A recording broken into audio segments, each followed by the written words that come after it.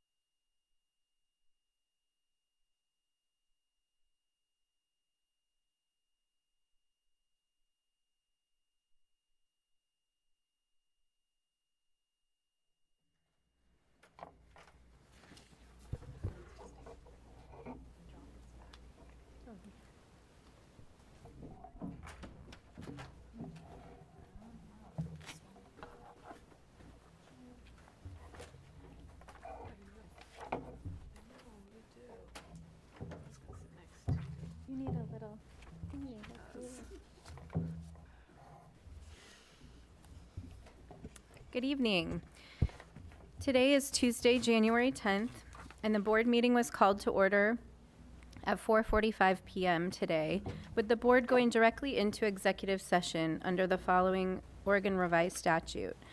ORS 196.6602F to consider information or records that are exempt by law from public inspection. ORS 1926602D to conduct deliberations with persons designated by the governing body to carry on labor negotiations. And ORS 1926602H to consult with counsel concerning the legal rights and duties of a public body with regard to current litigation or litigation likely to be filed. It is now 6:04 PM and we are reconvening our meeting with the public session, which is a business session. I would now like to ask Director Avila to read the land acknowledgement. Thank you, Chair. We are gathered here today on the land of the Kalapuya, who are represented by the Confederate tribes of the Grand Ronde and the Confederate tribes of the Siletz Indians. The relationship between the Kalapuya people and this land continues unbroken to this day. And we offer gratitude for the land and for the generations present and past who have stewarded this land since time immemorial. We respectfully acknowledge and honor past, present, and future Native American and Indigenous students and staff of Salem Keizer Public Schools. We invite you to join us in honoring these ancestral grounds and celebrating the resilience and strengths of all Native American Indigenous people. Thank you. If everyone would now join me um, to do the Pledge of Allegiance. I pledge allegiance to the flag of the United States of America and to the republic for which it stands, one nation, under God, indivisible, with liberty and justice for all. That takes us to 3C, agenda modifications. There's one slight modification. Um, Right before we go into our spotlights on success, I will be turning it over. Director Avila has asked for a few moments of time on the agenda. Um, I don't believe there are any other agenda modifications from any directors. So with that, I will turn it over to Director Avila. Thank you, Chair, once again. I know my actions of the JV football game between West Salem High School and Sheldon High School in Eugene on October 26th of last year have caused concerns for the officials refereed the game, as well as some of the members of our community. First, I want to publicly apologize to the referees of that game. I should have never patted the back of the referee. In retrospect, I see this was wrong. No referee should be touched by a spectator like I did. For this, I apologize. Second, referencing the fact that I was a school board member to the referees was the wrong thing to do. I didn't intend to exert control or influence by stating that I was a school board member. Now I see more clearly, by stating that I was a school board member, that gave the impression to the referees that I was using my position to my advantage with the OSAA. I didn't intend that result, but I now understand how improper it was to reference my position as a school board member. The referees of the game in Sheldon on October 26th and all referees for all sporting events within the OSAA deserve better and I pledge to learn from my mistakes. We expect our students to have a consequence for violating their behavior, expectations at school, and as a board member, I also expect consequences for adults attending school district activities. That includes myself. I know that our district must give me an appropriate consequence for my behavior, for which I will accept to help any wounds and uh, mend any relationships that we need to. I thank the board chair for allowing me to make this public apology.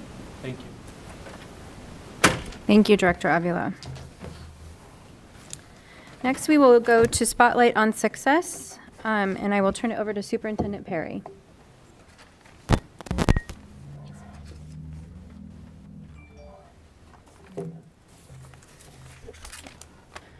Uh, So uh, Director Avila, your mic was totally dead on that.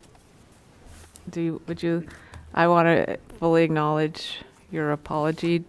Would you rather do it again so it could be heard? I can say it again. Okay. Okay. Not on CC Media? Okay. Okay. So just not through. Do I have a CC check Just not- yeah. How about check, check mic on this one? Okay, You can there hear we me? go. We're doing a Yeah. quick, okay. Okay, Thank Go ahead, you. Director Avila. Sorry about the technical issues. okay. I know my actions at the JV football game at West Salem High School, um, between West Salem High School and Sheldon High School in Eugene, Oregon, on October 26th of last year have caused concerns for the officials who refereed the game, as well as some members of our community. First, I want to publicly apologize to the referees of the game. I should have never patted the back of one of the referees. In retrospect, I see this as wrong. No referee should be touched by a spectator like I did, and for this I apologize. Second, referencing the fact that I was a school, school board member to the referees was the wrong thing to do. I didn't intend to exert control or influence by stating that I was a school board member. Now I see more clearly how referencing my position as a school board member gave the impression to the referees that I was using my position to my advantage with the OSAA. I didn't intend the result, but now I understand how improper it was to reference my position as a school board director. The referees of the game in Sheldon on October 26th and all referees for all sporting events for OSAA deserve better, and I pledge to learn from my mistakes in the future. We expect our students to have consequences for violating our behavior expectations at school. As a board member, I also expect consequences for adults attending school district activities, and that includes me. I know that our district must give an appropriate consequence for my behavior, for which I will accept to help and heal any wounds and re- mend relationships. I thank the board chair for allowing me to take, make this apology public. Thank you. Thank you, Director Avila. Next, we have our spotlights on success, and I will turn it over to Superintendent Perry. All right, so we're doing our spotlights a little different. And so we're going to start with our first spotlight, which is the Safety and Risk uh, Management Services Department. And I think uh, if you could bring your team in and just be, you know, in the back. And you are going to have to, yay, there we go. Look at that. Oh, that's kind. That's kind of a nice place for a photo back there. We'll go back with them in a minute and take a photo. All right, and presenting the spotlight tonight. Oh, they're still coming in. Yeah, look at them. Big team. Mm-hmm. Um, and I think, well, I know that our chief operations officer will tell the scope of their department. So, okay, and if you're if you're lingering in the back, you got to come over a little so we can see you. Can't hide behind the big screen. There we go. Still more. Yeah, behind the TV. Two lines, two lines. Keep going. Come forward. Come on. Good info. There we go. Okay. Is Chris back there? He is. Is He's, Mr. Baldridge back behind the TV? yeah, he is. There he is. Yeah. Thanks for coming in tonight, too. It's great to see your faces here. All right. Our Chief Operations Officer will give the spotlight tonight. All right. Hello and good evening, Chair Carson Cottingham, Board Director, Student Advisor, and Superintendent Perry. Tonight, I would like to recognize our Safety and Risk Management Services team for their commitment to student, staff, and community safety. Safety and Risk Management Services has many teams dedicated to the safety of our students, staff, and visitors. These teams are represented behind me. We have, uh, well, not all of them are represented, but Safety and Support Response Systems, uh, Campus Safety Specialists, which you see directly behind me here, uh, and then our Risk Management uh, team, uh, which starts with Michael Spence Majors and goes over to the uh, left there. So across the country, K-12 school communities face an evolving and unique set of threats and security risks, which is why maintaining student and staff safety is a critical function of our district. The Safety and Risk Management Services Department here at Salem Keizer works tirelessly to ensure the safety of all individuals interacting inside and outside of our buildings. An important part of keeping students safe is a strong relationship with outside partner agencies. This includes law enforcement, Oregon Health Authority, DHS, the Juvenile Department, and many, many more. Our Safety and Risks Department pride, excuse me, prides itself on maintaining these critical partnerships in our community. When any concern for a school safety is reported, they move swiftly to investigate and intervene in a manner that best supports the students, our schools, and community. SRMS is not just safety and security, though. The teams within the department are dedicated to serving the community and working to solve sometimes very complex problems to ensure our schools and communities are safe and secure. Through wildfires, ice storms, and a global pandemic, this team behind me worked tirelessly to ensure our staff and students were kept safe and, most importantly, in school.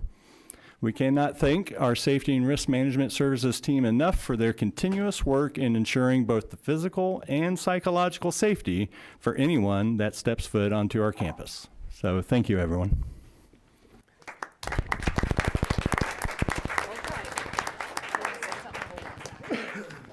Um, I, yeah, so we're all going to go back there and take a picture, but I do just want to say thank you so much to the whole team. Um, it's really great to get to see you folks, like when I go out and visit some of the schools and just see how much care and effort you're putting in for our students and our community. And so thank you so much. We really appreciate it.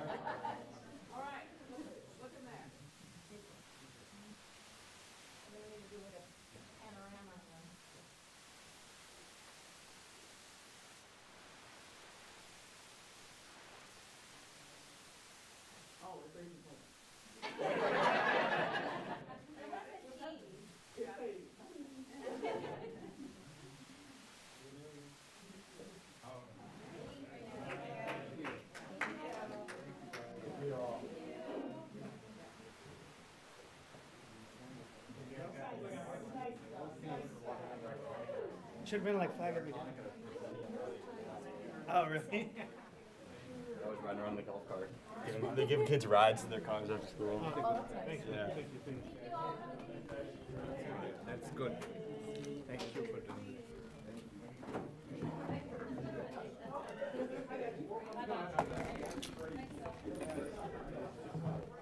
All right, while they're leaving, uh, maybe we could get our next spotlight to come in. And, I'll- yeah, our next spotlight. Is Alondra. Oh, there, there you are. Oh, you're like, where do I have to speak from? Okay, you get to speak from Sylvia's spot right there. This is new, a whole new setup and everything. So, all right. I'll split with Our next uh, spotlight is from um, is spotlighting one of our community partners, and Alejandra, a special education teacher at Auburn Elementary, is here um, tonight to present this spotlight. So, Alondra, thank you for being here. It's good to see you. Good evening. Good evening, Chairperson Carson Cottingham, board members, and Superintendent Perry. I am happy to join you tonight and recognize a very important community partner. Uh, the Marion Polk Food Share has been a great community partner for years.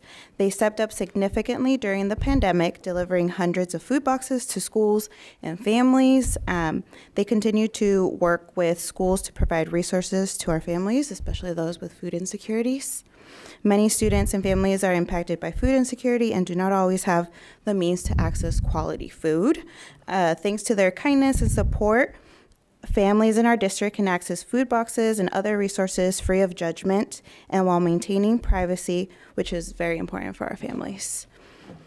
The food share does not share private information with the public about families who receive their services, making it easy and accessible to all who need support. The food share also has a kitchen that can be used by the community and a community garden where they give classes demonstrating how to grow your own food. Students can even volunteer at the warehouse and learn about the power of helping others. This organization is much more than food boxes during our a pandemic. The Marion Polk Food Share is a necessity in our community. Uh, thank you, Rick, and your team um, for your commitment to this community and dedication to helping those in need. Yeah. Okay, and I think for this photo, we're going to have you come up here and put your back, and we're all going to stand in together. But I think uh, our chair has a couple words to say. I just want to say thank you so much, um, Rick, for being here and to the Marion Polk Food Share. I've had the opportunity to volunteer here and there for the organization. Um, I think once up in Woodburn at a couple different schools, and it's just your staff and your volunteers are incredible and do so much for the community, and it's really um, just so impressive what you're able to do with with all of the um, support that you have here in Marion and Polk counties, and I know it's it's life sustaining and life saving for a lot of people. So thank you. Okay, come forward here, I'm gonna come around. We're coming, Are we oh, coming sorry. around? We're coming around, right? Okay, come around, come around to the front. Okay, yes, you have to, okay, go around. Okay. We're going around. Oh, okay. to yeah. liven up the um, spotlight. Yep. You know. How are we doing on livening up the spotlight?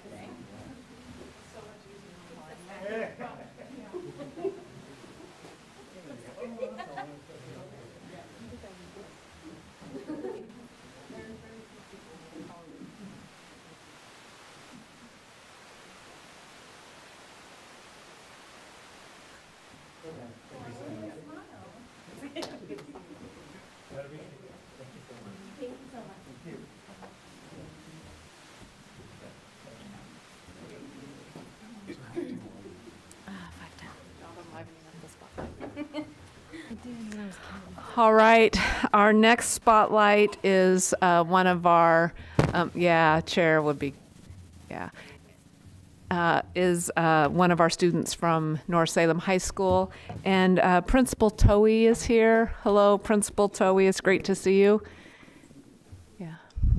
I think sitting is better for them to present too. We're, this is our first time to be back in person with spotlights for a while, so we're just adjusting on the fly. So.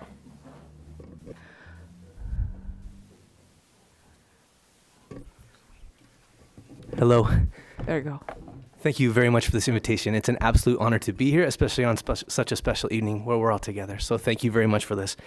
Um, it is an honor to be here, not only to see you all, but also, really more importantly, to introduce Elizabeth. Uh, her grandmother, Cindy, is here today, and her father, Frankie.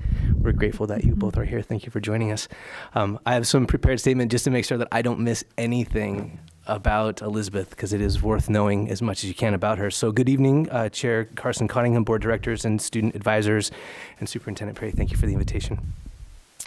It's an honor to be with you here tonight and introduce you to North Salem High School senior Elizabeth Valencia. Elizabeth is the recipient of the Stand for Children Beat the Odds Scholarship. The program awards scholarships to students who have overcome significant obstacles on their path to high school graduation. Elizabeth's story was featured at the Stand for Children Beat the Odds community luncheon event in November. Ms. Perry, I think you were there. Thank you. Uh, Elizabeth has faced many challenges in her personal life. Her story is extraordinary, and though not mine to tell, she has agreed to allow me to reference just some of her history today. Elizabeth was taken into foster care system as a young child, as her mother was unable to meet the needs of her children in a stable and healthy manner. Elizabeth went back and forth between the system for some time before she was eventually permanently placed with her grandmother, who is here with us today. Despite many other obstacles, in addition to the aforementioned, Elizabeth has prevailed. Elizabeth is greatly invested in the health and well being of others. During her time at North, she has been active in the health services program through the annual blood drive and has completed an internship with Salem Hospital. She is active in AVID and is a candidate for the International Baccalaureate Career Related Program Certificate with North's inaugural class of 2023. Elizabeth is expanding her community involvement and positive impact through mentorship in the IB Peer Mentoring Program and has recently applied to be an avid tutor. Her service to the North community as a peer mentor allows her to reach a diverse population of students. She creates positive relationships with other students and helps them achieve academically and socially through her thoughtful mentoring. Elizabeth has a unique ability to make others feel valued and cared for through everyday interactions, and from her experiences, she brings an element of compassion and understanding to our school. Elizabeth stands out as an exemplary student in North's IB program. She takes and excels in her numerous higher level courses while consistently proving to be highly organized, motivated, and thorough in her efforts both within the program and with her outside commitments. Elizabeth is always ahead of deadlines, produces the highest quality work. She demonstrates professional behaviors in her interactions with peers, teachers, school staff, and health industry partners through her health services internships. So, again, I want to thank you for letting me share about Elizabeth with you tonight. She is an amazing addition to North, and we are exceptionally glad that she is a Viking. So, thank you. I'd love to. I'd love to just again say thank you for being here. Um, and Elizabeth, amazing to hear, even if this is just a small glimpse of your story. I want to say thank you for all that you do. Congratulations for every single accomplishment. You have definitely earned it. Um, you know, you matter, your story matters, and you have already touched the hearts of so many. I'm excited, and I think we're all excited to see how you continue to do that, right? With your story, with your heart. Um, and thanks to, you know, grandma and dad for being here as well, because it takes a village. It takes a village to support students. Thank you. Thank you for everything and congratulations. Right. And you get to come on up for a picture. Come on up. And, and grandma and dad and, and Principal Towie.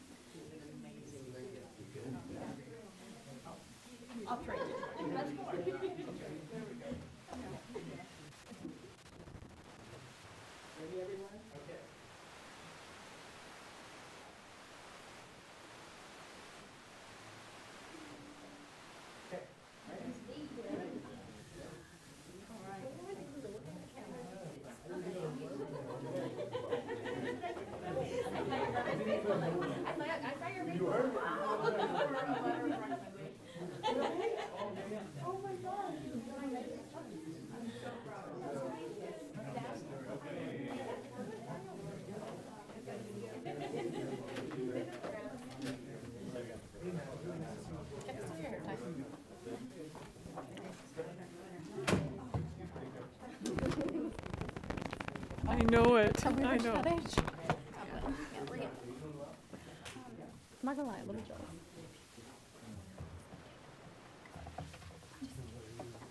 Okay.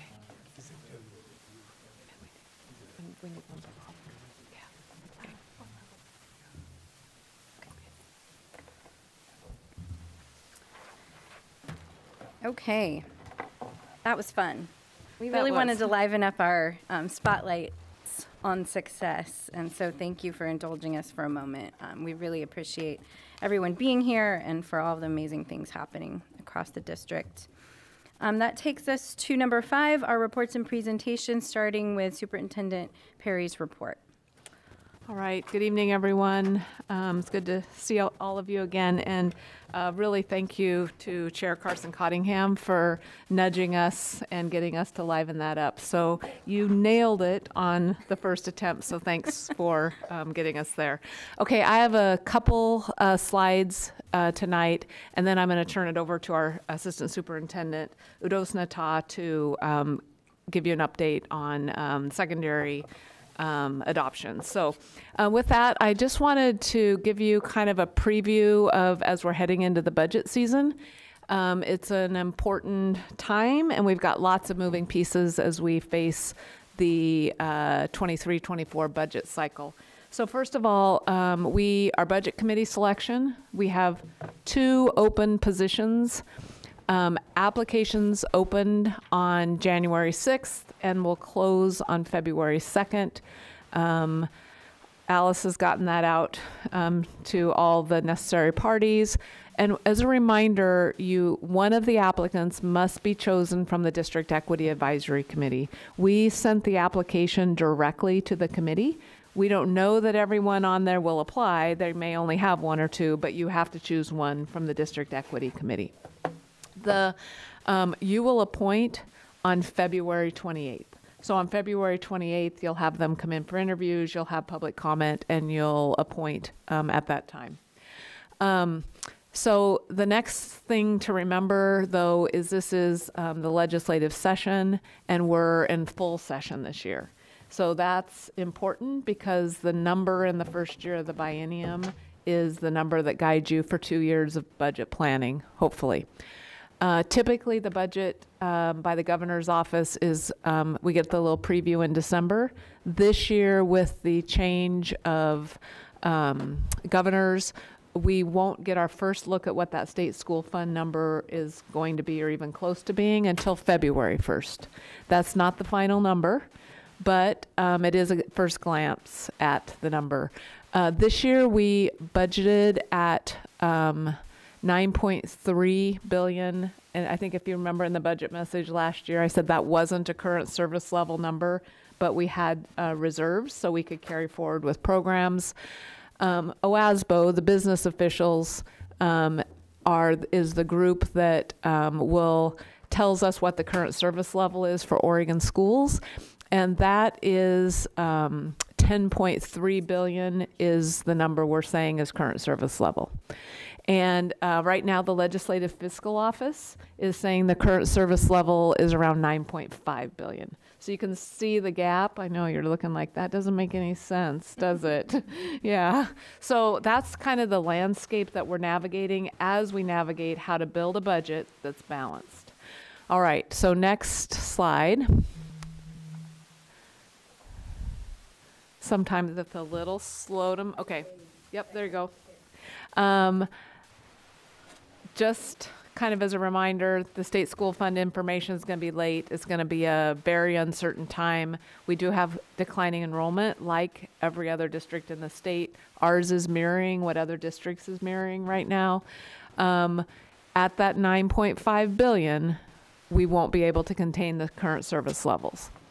And next year is our last year for the federal emergency funding, and we have about 175 positions in that. So our school district has 175 more just because of that um, ESSER funding. So we're in the process of building scenarios and trying to think about what happens um, when those ESSER funds go away and how do we set the stage for being sure that we have the right dollar amount for students. I say this every time, whoever I am before, the thing that changes lives for kids is people. There's no um, inexpensive way to um, do anything other than people to help kids. You saw from our student tonight a grandmother who helped her and a school who was alongside her full of people that are doing really good things for kids. And we want to pay our people well so that they do the best work they can for kids. So, just to lay the landscape, you're going to hear me with budget slides every time as we prep for um, the budget season. All right, um, with that, I'm going to turn it over to Assistant Superintendent Udosenata, who's going to talk to about curriculum adoption update at the secondary level. So, Dr. Udosenata. Thank you. Good evening, Chair Carson Cottingham, members of the board, Superintendent Perry, and our uh, student advisors. I appreciate you uh, taking the time today to hear about um, our curriculum adoptions. So we have two secondary curriculum adoptions occurring at this time. They're uh, middle school adoptions um, for language arts and social studies.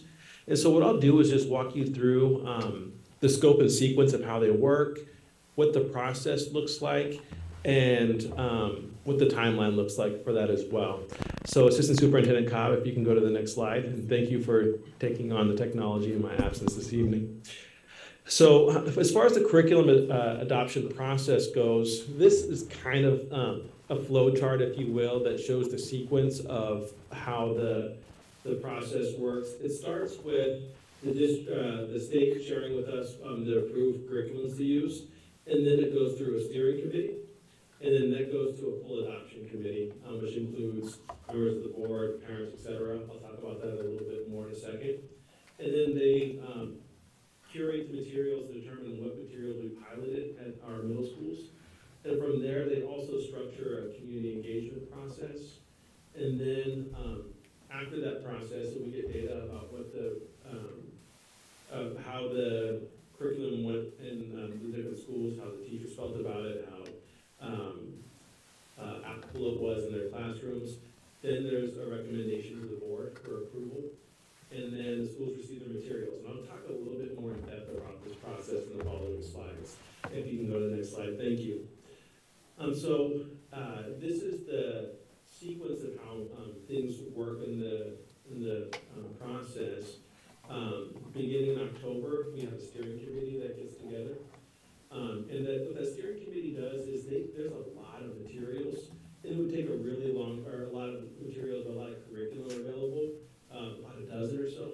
And it would take a long time for the full steering committee to go through this material. So what happens is they curate this material, um, and they ask content teachers, uh, for their input about the materials. Um, and from there, they, uh, review the materials and, um, uh, the feedback on, on, on the materials from the ODE. And they, uh, look at, the written materials, the publishers, presenters, uh, and then they test materials, and then it goes through to the actual committee. If you can go to the next slide.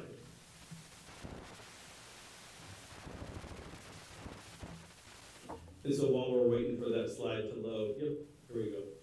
And so here's some more details about what the formal committee does. So we have the steering committee, and I'm gonna talk about what the, what the composition of the committees are in a different slide, but the steering committee is, consists of teachers, uh, from each school represented. So this is language arts teachers from all eleven of our middle schools plus Edge, um, and, uh, social studies teachers as well. Um, after the, the steering committee curates the materials, um, then the formal committee comes together. The formal committee has parents, school board members, et cetera. Um, they analyze the data that they get from the, the surveys they give teachers. Some of the things that they're looking for is what's the teacher's willingness to use the materials? Um, are the checks for understanding throughout the textbook materials that they're using? Are the resources in Spanish? Uh, is there an audio component? Uh, is it demonstrate cultural inclusivity? Are there other instructional supports? So when they evaluate these things, um, then they structure what they want the pilots to review when the um, teachers pilot this material in their classroom. Then after the material is piloted, they go through a process where they um, discuss the material and share the material with the community. Um, and then from there, they analyze the data and input they get from the community. And then they make a formal representation, or recommendation to the board. We can go to the next slide. So again, this is the composition of the, the, the body that represents our committee. We have the steering committee, which is the, um, teachers, uh, and program associates, uh, who lead the process. Um, there's again, one teacher from each content area. Um, we have two board members serving on this, this process. Uh, Director, um, Guzman Ortiz and Director Hinojos Pressey. Um, and then we have parents, and, um, we have two parents in this committee, um, because we merged the two processes, both language arts and social studies were the two, uh, uh, the, the two committees. And so for this, we, to be a parent to serve on this, you need to be part of, uh, a standing committee to be eligible. And so, um, I believe we have parents from the, um, SPED advisory group and the Native American PAC, uh, represented on this one. Can you go to the next slide, please? And so one thing I just mentioned a moment ago is that we have, um, that we're running the language arts and social studies processes together. So it's an integrated committee instead of a separate committee. And one of the reasons that we're doing this is because there's so much overlap and transferable skills um, when it comes to reading, writing, critical thinking in both social studies classes and language arts classes. And also oftentimes the courses are linked or there's um, teaming that goes on in planning. So if you're studying a certain content or a certain theme uh, within social studies class, um, those teachers will work with the language arts class to make sure that the, they're studying complement each other. Um, maybe they're studying civil rights, maybe they're studying um, uh, feudal era, whatever it may be. Um, they want to make sure that they're they're um, really being linked in their in their um, the way that they're mapping out their curricula, and then also sometimes uh, that uh, has an impact on the schedule as well. And so overall, this approach really does support teacher collaboration, which is something that we promote in all of our schools. Um, can you go to the next slide? So this is just the timeline of how the process works. Um, starting in December 2022, so last month, we had the full adoption committee formed. Um, we curated the choices uh, from the, from, and I believe we had about eight or so in the language arts, and we're able to narrow it down already a little bit. And so we're in the process right now in January where we narrowed it, or where we uh, are um, planning to be able to pilot the materials. I believe there's been a couple of meetings already um, with the uh, formal committee. And then in, in March is when we make our, or March through April, is when we'll make our final selection. Um, and then we make the recommendation to the board, and the curriculum goes through board approval. And then the goal is for next fall, when we begin the school year, that the uh, middle schools will have a new uh, social studies uh, curriculum and language arts curriculum. And that's it. Any questions? Director Chandragiri. Well, thank you, Chair, and thank you, Director Udosenata, uh, Superintendent Udosenata. Uh, this curriculum adoption, it goes through the steering committee and things like that, and then full committee. During this process, is there a transparent process where the rest of the public can see at least uh, uh, some minimal information on how the process works or what kind of materials are being selected so that rest of the community also can learn and uh, weigh in. Because right now the parents who are selected are already from existing committees. But how is the mechanism for getting the general community to also weigh in as the process evolves rather than waiting till the board approves and then only they get a glimpse of it yeah, so the, um, and, and, uh, our director of curriculum instruction at the secondary level, uh, when Rory Fink is with us, so we can go into a little bit more detail, but here's what I, I can tell you is that we have a procedures process, um, that's part of our QAM, and so we follow that process. And the component where we have the community engagement is after the formal committee, which includes, um, two parents. Um, has already uh, occurred, and then they can review the materials. Uh, we select our uh, curriculum from the, um, the state approved list from ODE, and I believe that's accessible just online. And so parents can, re can review those, and then on the list, uh, there we select from those that are deemed exemplary or those that meet the, the state standards. And so that's the process that we use to curate. Um, the, the variety of curricula that we have before narrowing it down to what works best for our parents. And so those things are, are curricula that you can find on the ODE website.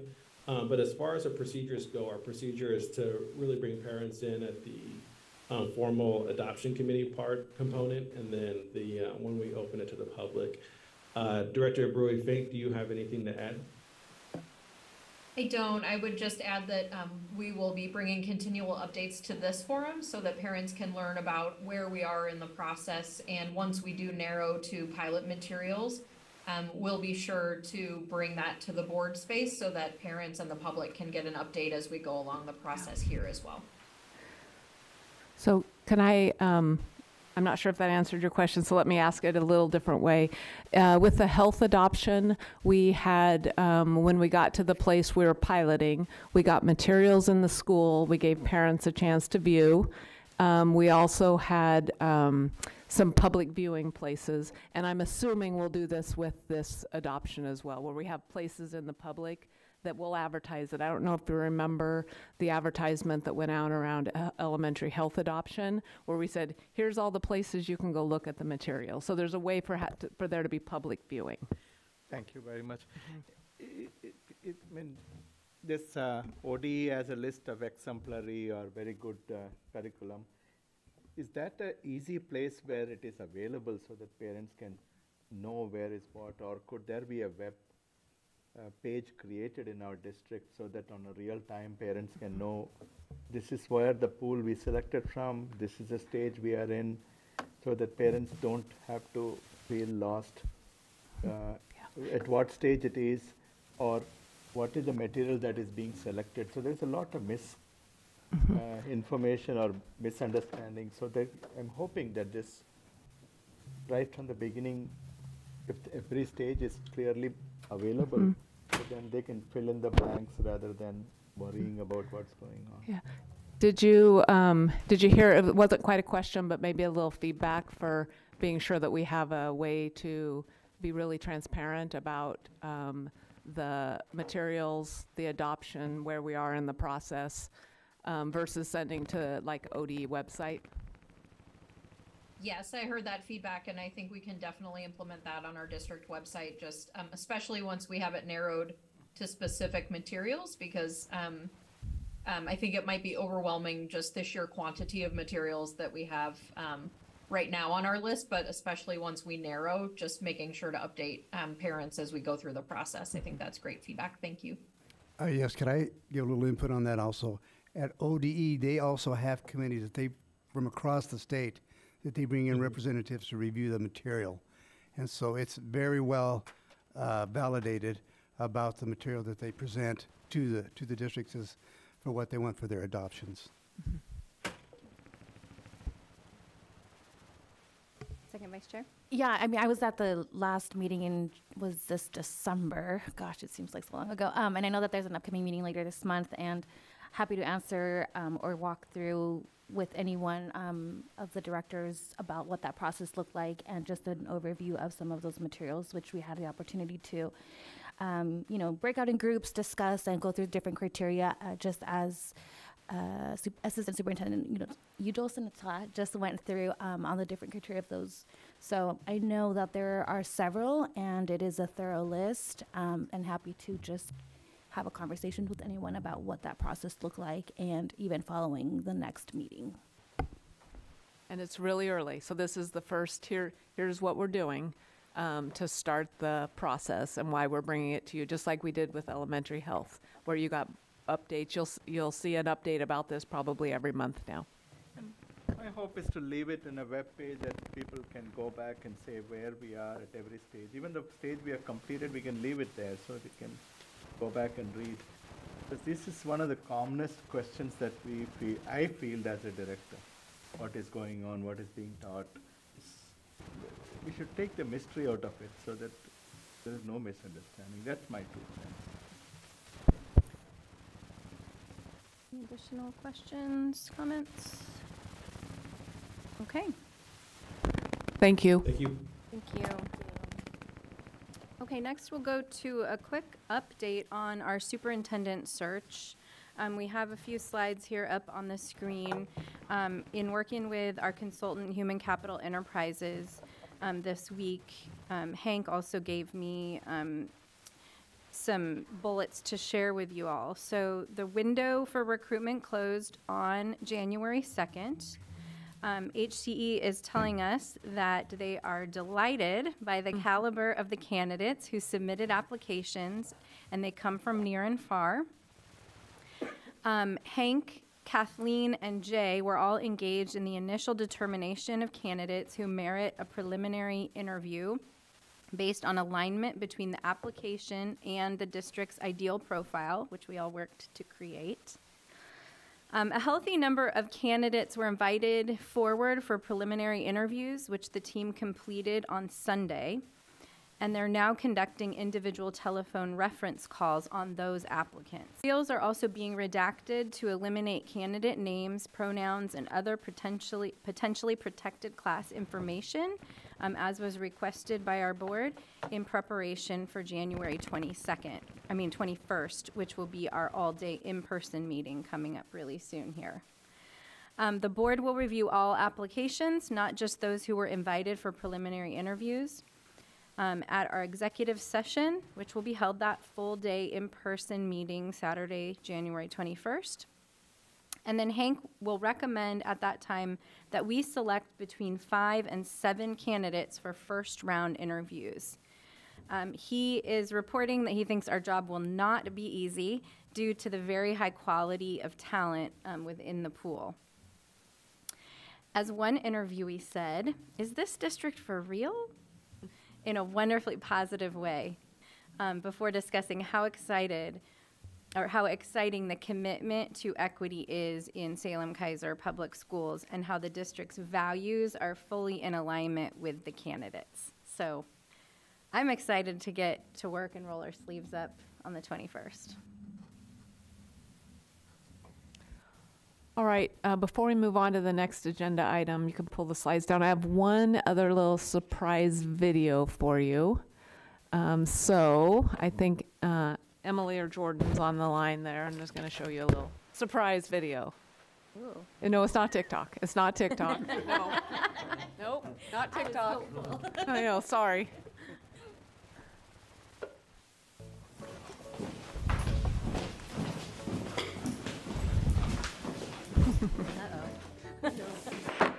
Good evening. Today is January 10th, 2023, and a board meeting of Salem Keizer Kids is now called to order. Let's take attendance. If you are here, say here. Here. If you are not here, say not here. Good. We have two topics to cover today. First, let's talk about lunch. I propose that we have pizza every day for lunch. Any comments? If we have pizza every day, then it won't be special anymore. Trust me, I have raw broccoli once a year and it's not special. Good point. I second the motion to have pizza for lunch every day. All in favor, say aye. Aye. Good. The next order of business is to pass resolution about January being School Board Recognition Month. The school board does a lot of work to make our schools better. They should be recognized. I agree. Last fall, even though there was so much going on, the school board established a set of goals to make sure they stayed focused on the work that improves learning for students like us. They do work really hard. They often stay up past my mom's bedtime whenever they meet. All in favor say aye. Aye. With none opposed, the resolution has been passed. January is officially School Board Recognition Month. Thank you, Salem Keizer School Board. Meeting adjourned. That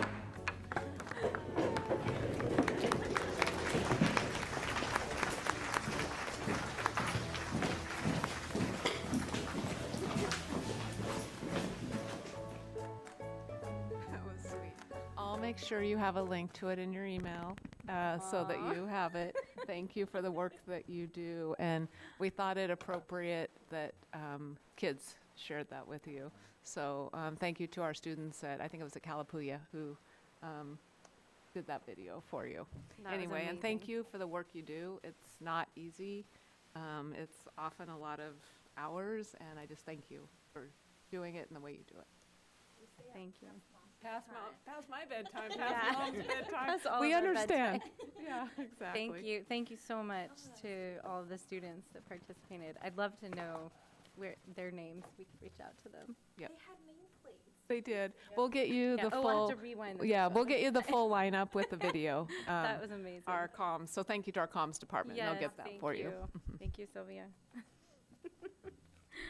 okay, um, that takes us to public comment. Um, oh, yes, there's been a request for a break, so let's take five minutes. We'll start public comment just a little before seven. Oh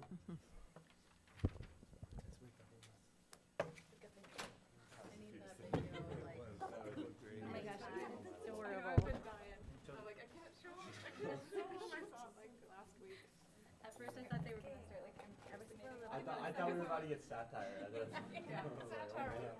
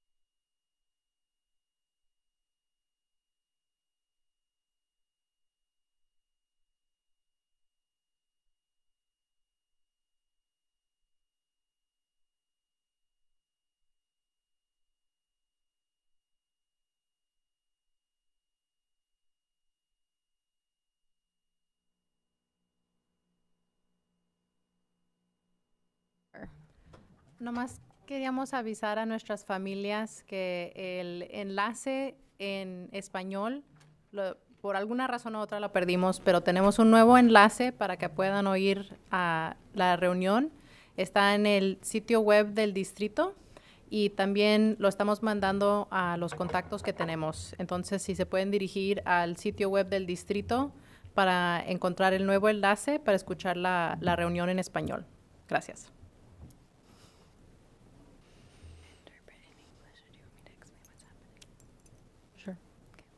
Um, so I just wanted to let everyone know that we lost um, our Spanish interpretation. Um, like the, the link itself went down, and so we've got a new link up, and it's on the district website. And we're also sending out the link to some of our contacts. But if any of our folks need to hear the meeting in Spanish, um, they can go to the district website. Thank you. Thank you, First Vice Chair. Okay, that takes us to public comment number six on our agenda. Um, we have selected speakers at random. We have public comment by call-in and Zoom, and we have allotted 30 minutes to hear comment this evening. Each caller has three minutes. Electronic mechanisms are used for translation. We have a countdown timer on screen for monitoring time. The timer counts down from three minutes. At 30 seconds, it turns from green to yellow. At one second, it turns red and plays a short bell to signal that time is up. Please be mindful of your pace for our interpreters. As a reminder, all board members receive the written comment, which is also posted to the website. Tonight, six people have signed up to comment, so we expect that we can hear from everyone who signed up within the allotted 30 minutes. Um, and then, just as a reminder, all of us board members have devices up here so that we can switch channels if someone is speaking um, in Spanish and you want to hear it interpreted. To use these devices, and um, our amazing communications staff will also alert us so that we have a moment to get tuned into the channel so we can make sure not to miss what people are saying. Um, also, if you are joining as a board member on Zoom and someone begins to provide public comment in Spanish and you want to hear it in English, you need to click down at the bottom of your Zoom screen that you would like to hear the meeting in English. So, just quick reminders um, for accessibility. Also, we received um, feedback about our public comment process and the time allotted. And we just want to make the public aware that if there were many, many people wanting to comment, um, we are flexible enough to expand the time frame on our agenda. But the last several meetings, um, there have been fewer people signing up, and so we've changed it to 30 minutes. Um, we can adjust as needed when there's additional people that show up, you know, within reason. So with that, I would love to hear from our first person for the night. Our first caller tonight is Cassidy. Great. Hello, board directors. Can you hear me? We can hear you. Okay, Hello, board directors and superintendent, and thank you for the opportunity to give comments. My name is Cassidy Trout, and I'm a mom here in the Salem Keizer School District. I would like to urge all of you guys to begin putting acad- academics back to the forefront of our district. I understand that education looks different for each child. Not all children are math whizzes, not all children are meant to be novelists, and not all children are college bound. Our district does such an amazing job with our CTE and CTEC programs. They prepare students for success right out of the gate. We need to be expanding these programs for students who choose that, this route or may not excel in the classical school setting. I'm a huge supporter of these programs, and my son spends most of his day in the McKay CTE buildings. This does not mean that we can lower our academic standards. This doesn't mean that we should demolish tag the tag program. This doesn't mean that we should eliminate honors classes. Providing opportunities to one group of children should not come at the expense of another. We can do many things for many different children, and we are But please don't let our brightest stars burn out in the name of equity. Instead, let's create so many shining stars in this district that you can keep Salem Keizer School District from space. Thank you. Thank you. Next caller. Our next caller tonight will be joining by Zoom. Um, Marilyn is our next caller. Great. Marilyn, can you hear us?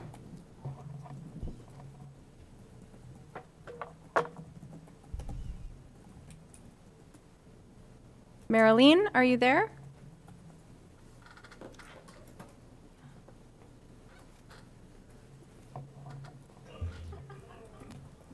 Okay, I think I'm ready. Can you hear me? Yes, we can hear you.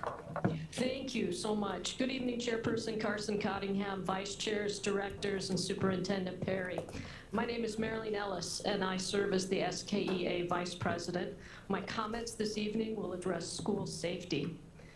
I've addressed this group each of the previous three months on the same topic. We are very concerned about injuries to staff, especially those caused by our students. We are worried about the effect this has on the learning environment for the students witnessing these events, and we are worried about the long-term impact of exposure to and fear of violence. Approximately two months ago, we received a draft from district leaders for a protocol of response to this type of incident. We offered some feedback and have been waiting ever since to see a plan put in place or an opportunity to continue the conversation. The ball has been dropped at the expense of student and staff well-being. This is unacceptable. Before we worry about test scores, before we examine graduation rates, before we look at anything related to the education of students in Salem Keizer, we must first address safety. A student who feels unsafe cannot effectively learn, and a teacher who feels unsafe cannot effectively teach. It seems like a given that we should do our best to create safe learning environments and respond quickly to injuries. Common sense dictates this. In no other type of workplace would an employee be hit, kicked, or bit, and then be expected to simply continue working with the same individual who has just caused the harm. In no other type of workplace would a person be ex- expected to continue working without taking the time to assess the degree of injury. In no other type of workplace would we tell people getting hurt is just part of the job. But this is exactly what we do in Salem Keizer.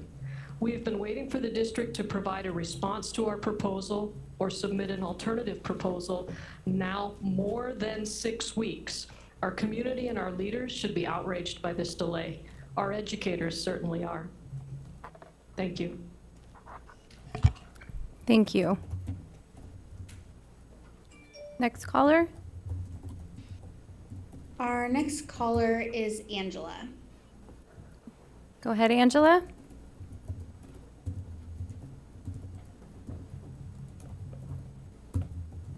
Angela, are you there?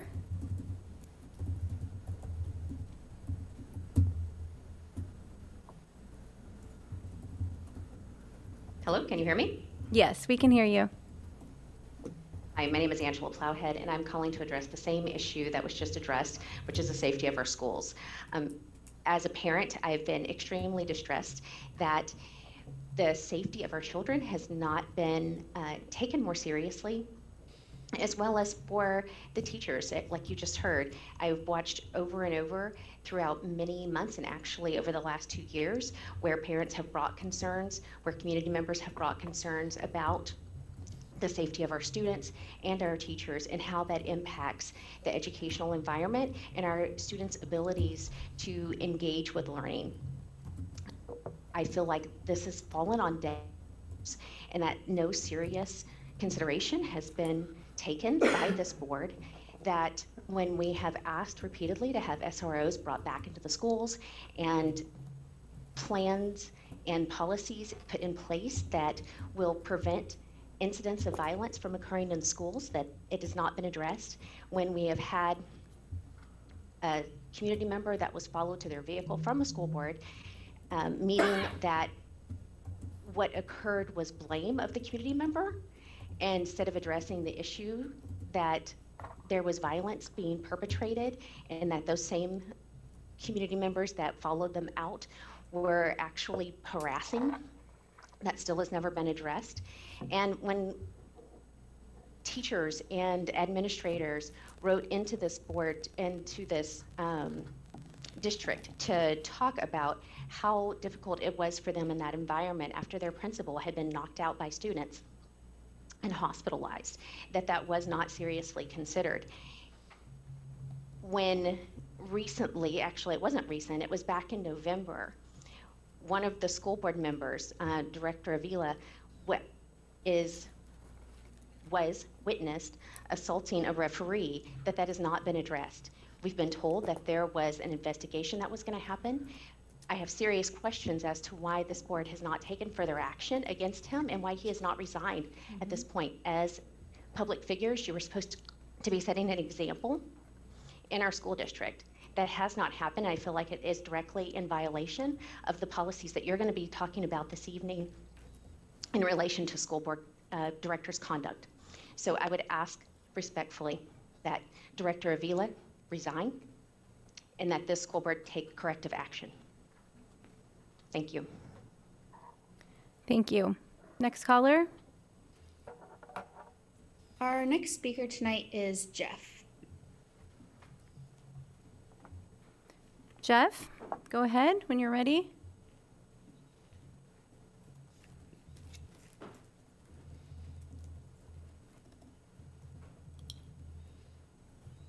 Sorry about that. Good evening, Chair Cottingham, uh, Superintendent Perry, and school board members. Uh, I initially planned to give a lengthy statement about problems that we faced after talking to countless people about the issues, some of them in this room. Um, But we all know what the problems are. So instead, I want to say that it's about time for you to stand together with the employees of Salem Keizer School District for some solutions. Uh, It's about time for increased staffing levels to improve staff-to-student ratios.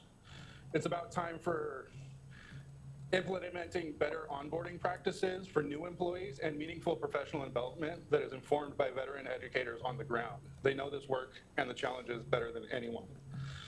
It's about time for specified training for classified employees working with individual students with IEPs. Um, and most importantly, it's about time for more venues and programs for extreme behavior situations, especially at the secondary level. Because we are using the majority of our resources in a building, when we are using a majority of our resources in a building to address repeated extreme behaviors with one student, the education, uh, the other students are not getting the education that they, that they deserve, and that student is not getting the education that they deserve. So we need programs that will help with that. Um, Our charge, as you know, is to provide an education to every student. Working together on solutions from the ground up is the only way we can make that happen. And we are a willing participant in this process. We want to partner with the district to come up with solutions to the behavior and safety issues that our colleagues are seeing on a daily basis. Thank you. Thank you. Next caller? Our next speaker is Edie. Go ahead, Edie. Good evening, Board Chair Carson Cunningham, school board leaders, and Superintendent Perry. Uh, My name is Edie Buchanan, and I'm the president of ASKESP our classified union. I believe by now you are aware of the staff injury crisis throughout our Salem Keizer schools. The high rate of staff injuries is happening due to students with extreme behavior and trauma. It was an issue before the pandemic, but now the crisis is full-blown and it appears to have no end in sight. It is a threat to our entire education system. The result of this crisis is not just staff injuries causing physical and mental trauma, but staffing shortages as well. Also, a result of this crisis is staff being thrown into an unforgiving workers' compensation system that clearly is a structure that does not benefit those injured. And to make matters worse, new employees and often current employees are not given tr- sufficient training to navigate this crisis. My goal this evening is not to point fingers, but to offer solutions with your involvement. I believe the best start toward a permanent solution is to hold listening sessions with the chair and vice chair of the school board, district leadership, and members who have been impacted by this crisis. Ask ESP leadership is aware of the complexity of the issue and the legalities involved. However, we have also known through conversations with injured members throughout the last couple of years that current systems in place at the district are broken. We believe an audit of those systems is in order to determine a path forward to reduce injuries and to help all students and staff succeed. I cannot express enough the sense of urgency around this crisis. Work should not hurt.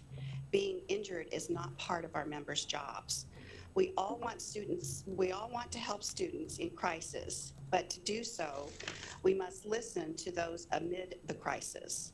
Our members have expressed often that they are not being heard, their ide- ideas and solutions ignored.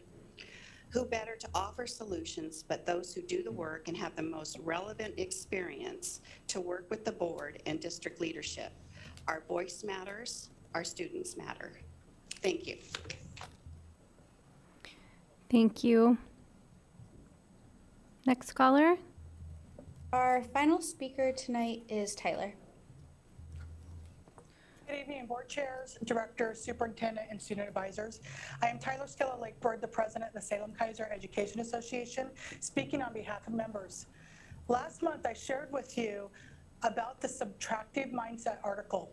This article explains that in times when educators are struggling to carry their heavy load, this is the time to take away less important tasks and focus on what is more most important, teaching our students. Many district leaders said they read through and want to discuss this more. However, this discussion is yet to take place.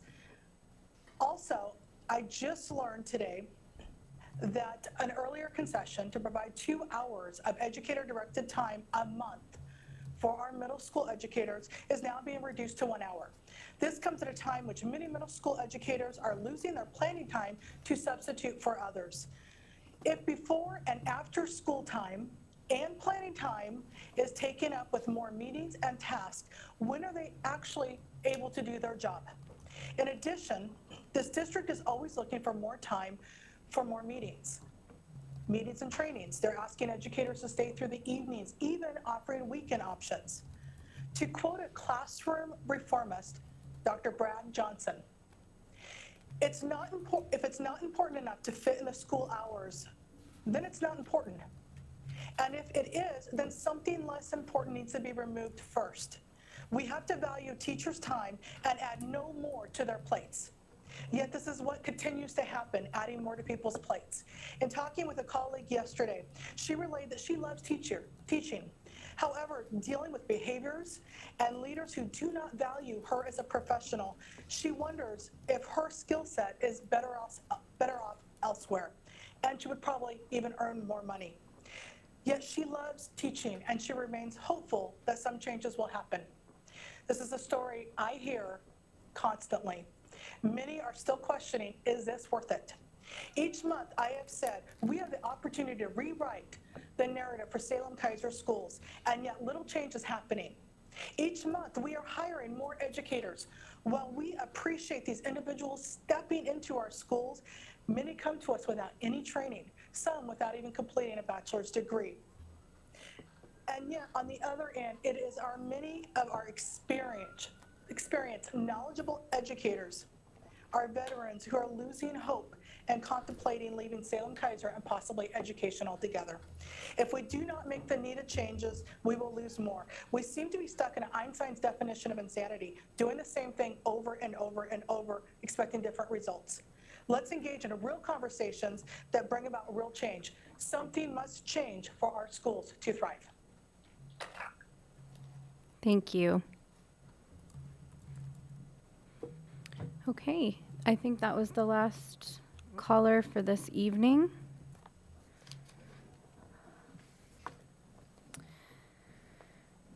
Um, is everyone up for moving on to our next agenda item? Does anyone need a break? We do have one scheduled on the agenda, but we took one earlier. We good? Okay. A little. Little break? Five, ten-ish minute break. Okay, great. We will do that. We will take a five-minute break. It is 7:21.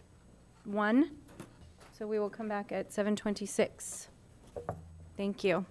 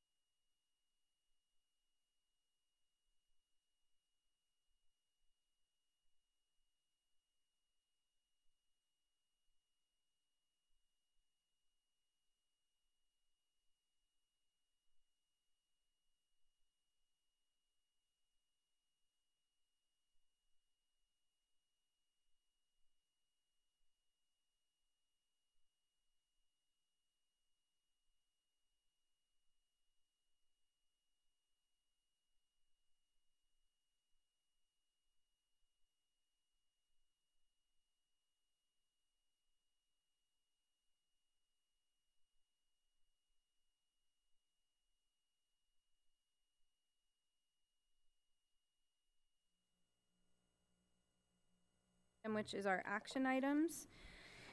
And um, the thing that we want to take action on tonight is to approve the revisions to um, our board governance policies 1, 3, 4, 7, 9, 11, and 12.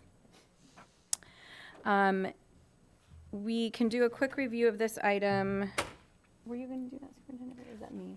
Either one, yeah. Okay. You start and then I'll, I can. Okay, in. so just as a recap, we, we talked about this last meeting um, when we first brought these back, but um, this was the culmination of the work that we did with the Oregon School Boards Association's employee Vince Adams um, in working with our whole new board and updating um, our agreements with one another and sort of how we want to operate. And we wanted to memorialize that through these board governance policies. And so board leadership took a stab at incorporating a bunch of the agreements that we had come up with, putting them into the various policies where it seemed like they might fit. Um, additional feedback came in um, over this process, and we also did receive more feedback just this week from Director Chandragiri that we worked to incorporate into BG7, which was why the agenda got reposted with his feedback included at that time. Um, I'll turn it over to Superintendent Perry if there's anything else you would like to highlight or point out. Yeah, um, the one thing I would like to highlight is um, Isaac and Raylin, our student advisors, offered some suggestion in the uh, selection of student advisors, so that language is in um, this as well. And I think, given the comments that I took notes on last time, we were able to incorporate everyone's um, comments um, and feedback throughout. Great. So with that, I would love to take a motion um, on moving our revisions forward to the board governance policies. I move to approve the revisions to board governance policies 1, 3, 4, 7, 9, 11, and 12. Great. Is there a second? I will second that. Thank you, Director Avila. Um, And now I will ask for discussion. Director Chandragiri. Thank you, Chair. And uh, I really appreciate uh, considering the little suggestion that I sent to you and really appreciate incorporating the ability for the individual board directors to speak while respecting the, that they cannot speak for the board. It is very important. So I have a clarifying question, either chair you could or you could direct our legal counsel to kind of say, the ability to speak to the press is the question. Is that protected by our constitution or not? And this is also critically important because this is also part of the free speech and getting to the constituents because can't talk to 200, 300,000 people. So we'll need to retain that. And those who are, if they decide to campaign the community, the press can ask questions.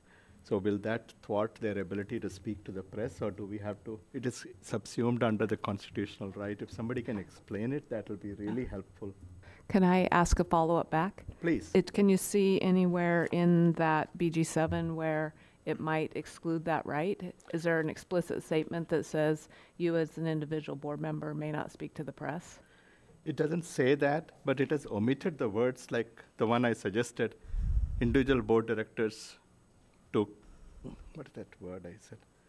Uh, individual board director to communicate with their constituents. uh,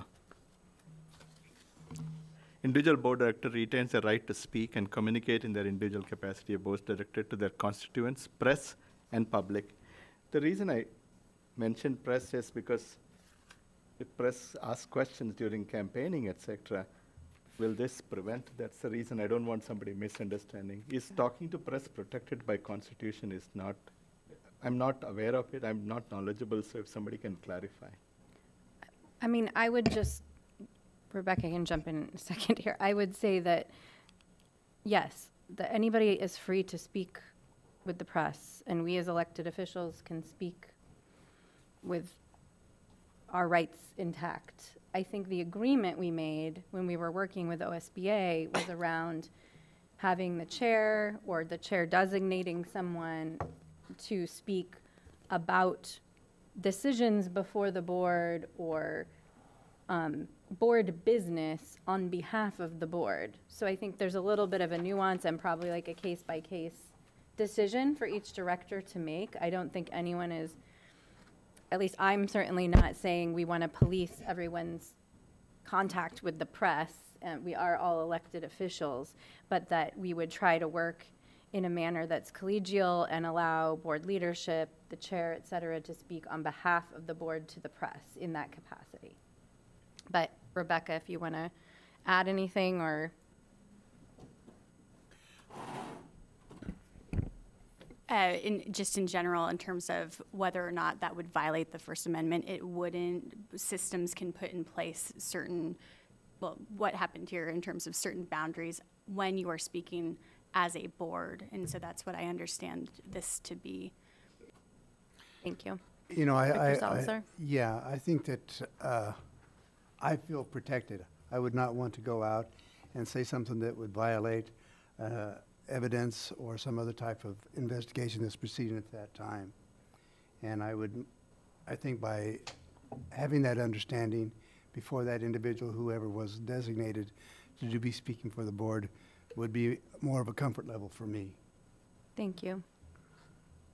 Director Avila? Yeah, thank you. And uh, I, I would just like to point out that this is the same policy that we had, language that we had even last year as I was serving as a board, and it was the same language that you had when you were serving as a, as a board.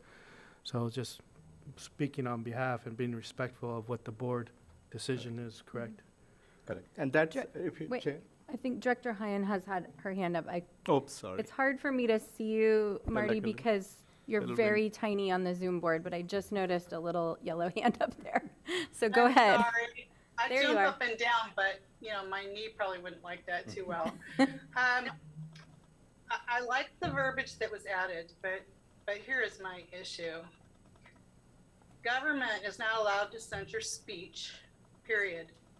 And I will, and we use the word owning. I will not own anything passed that I find egregious or immoral. If I vote no, there's a reason, and I will not own the decision of others. I know I can't change the result of a board vote, but I'm not going to own it. And then also on BG 11, uh, there's some good words in here, but we don't enforce it. Uh, speaking specifically to Exhibit A at the bottom, fighting, threatening behavior, harassment. That's happened, and a person who's been harassed still has not received proper remedy. Uh, abuse, hate speech, we get this frequently. Um, we're not enforcing it, so I'm not sure why we're bothering with those words. So for those reasons, the way these are currently written, I will not be voting in favor. Thank you. Director Chandragiri? I just want to clarify that uh, it is really important for individual board members when they are talking or answering questions from the press or community not to represent the board, not to speak on behalf of the board. That's absolutely mm-hmm. important. And board chair or the leadership should be the one to say these are the things that happened. But on the other hand, the press or the public will ask questions and they should have all the right to ask any questions. So as an individual or individual board member, you can, I would like to have the ability to say, as an individual person or individual board member, here is what I think or what I feel or this is what happened. Which, uh, because there is going to be a lot of questions that will come up uh, and public has a right to know. The second reason is it's also important to speak up when we see there is something that is not right, even if you're one person, because that's how we bring about changes and bring you know, social justice. Somebody will have to speak up. And you know, as we enter the campaign season, there'll be lots of questions that will come up. So we cannot uh, limit the board directors from not able to discuss with the press or answer the press, whereas that will give an undue, unfavorable position for the board directors, sitting board directors, compared to, say, another candidate who may be free enough to speak uh, as they feel or as they think things have happened. So there has to be some freedom. But if it is subsumed under free speech, that's pretty much, and the other rights, that constitutional rights, that should hopefully cover it. But thank you for having this discussion because at least from the public mind, I wanted to make sure that speaking to the press is also a part of our constitutional right. That's all I just wanted clarification.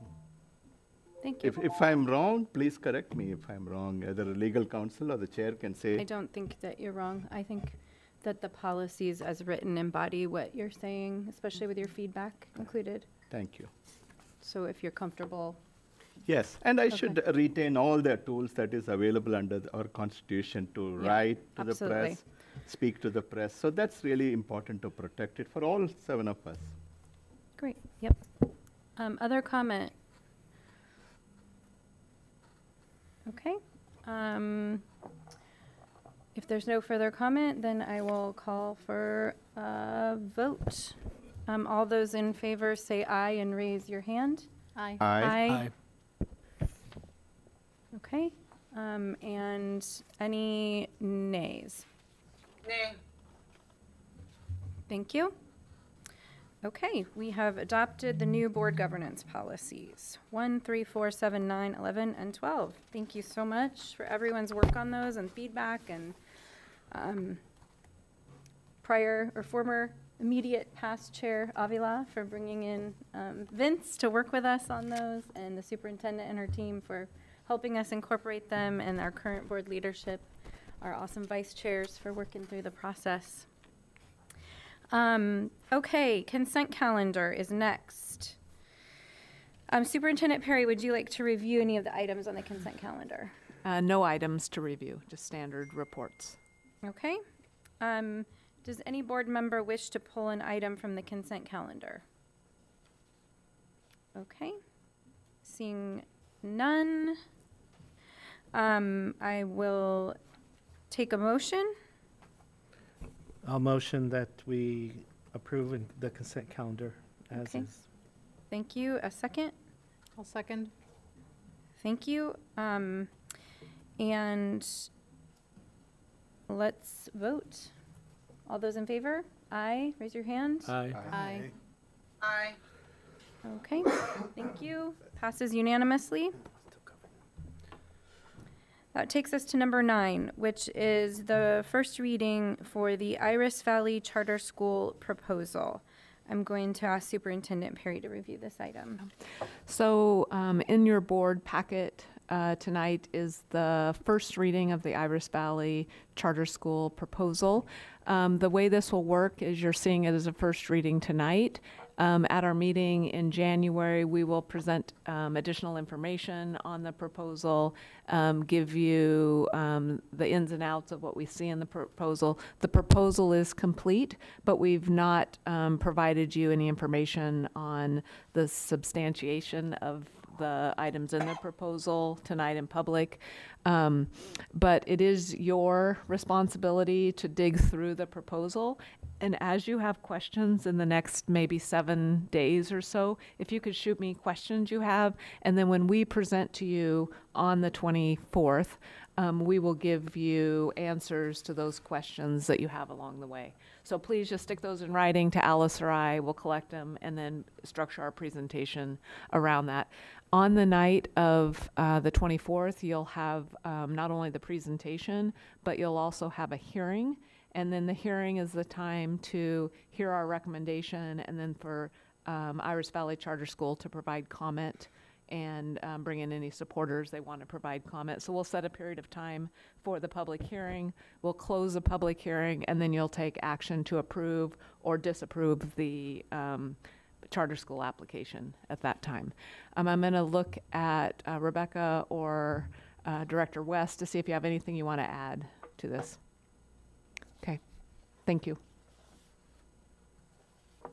Thank you, Superintendent Perry. Um, That will take us to number 10, information and standard reports. Um, Back to you, Superintendent Perry. All right, um, just a, um, one item related to the standard reports. On the SIA, the student investment account, there is a requirement within the law that you have an audit. Um, wouldn't have had to be there because we have a requirement for an audit anyway. So when our uh, uh, accounting firm comes in to do the audit, part of that audit is the student investment account funds. So the audit is complete. You've received a copy. It was a clean audit, no material weaknesses, anything, any problems within the audit. It is linked on our website. It was linked in the um, the uh, board plate for tonight. Um, but just so you know, that was um, uh, completed. Um, and other than that, I don't have any other comments other than to um, you may want to look ahead to the calendar because you got a lot of things coming up on your calendar. So um, hang on because here you go for a very busy um, couple of months. We'll try to make it as fun as possible. How about that? Thank you. Okay, and that takes us to board reports. Um, let's see. I will just take volunteers tonight. Who has a board report? Isaac. Yeah, um, just a couple things, starting with last week's District Equity Advisory Group. I think that's the official title. But we had a great meeting with Gwyneth Brewery Fink, Monique Aguilar, and Michael Sent. He's one of the Cemental. Cement, Cemental, and um, we learned a lot about what our district is doing um, in terms of bilingual systems and um, English learning and assigning credits for um, knowledge, not seat time. And I came out of the meeting feeling feeling very hopeful and excited about some of the things that are rolling out. Um, and we got a lot of good input from students, and it was a great discussion. And I wish it would have been longer, but um, it was it was still um, really, I've just left feeling really good about things that were going on. Um, and then just a shout out to the two West Salem security guards who, or safety officers who I did not see today, um, but shout out to Rodney and Senia for their hard work. And then I had the privilege to go down to Straub today and um, meet with some of the behavior specialists and um, life skills people. So shout out to Mr. Beckett and Carissa and um, Mr. Lindsay or Dalton, and they have a room there that's like the calm room or the vibes room, and it's a space for students to come in and collect themselves and have a conversation with a trusted adult. And there's like LEDs on the side, and there's puzzles, and it's just such a cool, relaxing space. There's a little treadmill, and it's just an awesome space. And I'm like, I'm just really excited and inspired by a lot of the things that I see as a student in all these different levels. Um, and so, kind of some gratitude, um, and then also just wanted to share that with the community. Thank you. That was a great board report. Isaac, can I ask you, a- can I ask you a couple questions? Yes. Uh, the presentations earlier by the uh, teachers, do you see the behavior that, that, that they're, that they were referring to, and is it as, as severe as they explained it?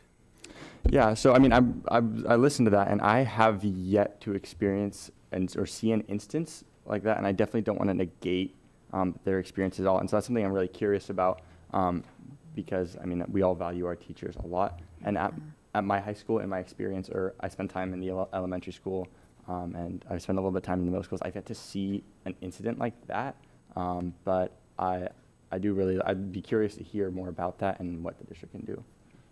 Thank you. Yeah. Director Chandragiri. I, I just want to thank our school board uh, for this month being, recog- you know, I don't have a committee report, but the fact that we're all working together and our leadership and so thank you very much. I'm just filled with so much gratitude. Uh, I mean, this journey has been tough, no doubt about it. I'm not here to say anything different, but the fact that we are all kind of together, and uh, even though we may think we are approaching it differently, but we all have shared the same vision, same goals, same purpose. You know, that is beautiful. And so I really think, thank you to each other, and thank you to Superintendent Perry, our board directors, and all our leaders who are sitting here. And so that's one important thing. I, I wasn't here last month, but a lot of community members really sent their thanks to the fact that our board approved that purchase of that aviation thing. You know, it is amazing how they really said thank you, thank you, because everybody has a vision of their children doing better than themselves in future. And they really connected the dots and said, this is going to really jumpstart a big thing. So thank you, my fellow board directors, for voting in favor of it and giving hope to our community.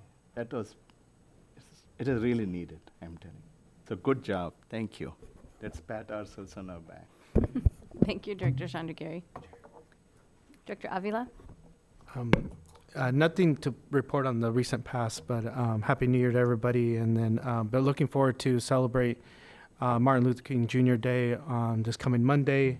Uh, I'll be at the library with some community leaders there, and looking forward to to that event um, and for West Salem Juntos program to get kicked off as well. Well, um, all I really wanted to share, I mean, there was no SKATS policy meeting last month, um, due to the holidays.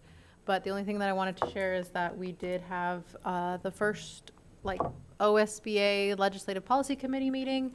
Um, and we're gearing up and getting ready for the legislative, uh, session that's starting after Martin Luther King Jr. Day, which it came up sooner than it normally did. Um, and so we're really going to be working hard to make sure that we're able to get a budget that is able to fully fund all of our schools. That's that's my dream, and that's what I'm putting out into the universe.